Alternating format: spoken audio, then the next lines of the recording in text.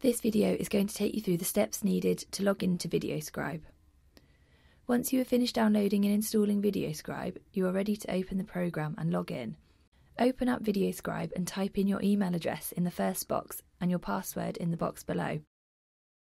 If you have signed up using your Google or Facebook account, use the same email address you use for your Google or Facebook account and use the password you created during your Sparkol account setup.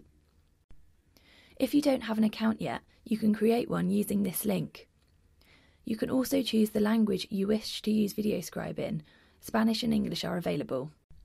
Once your credentials are entered, click Login. VideoScribe will open and you will be presented with the project screen where you can begin a new project or open up a scribe you've already started. If you have forgotten your password, you can reset this on our website and there is a forgotten password link in this instant answer below the video. And that's how you log into VideoScribe.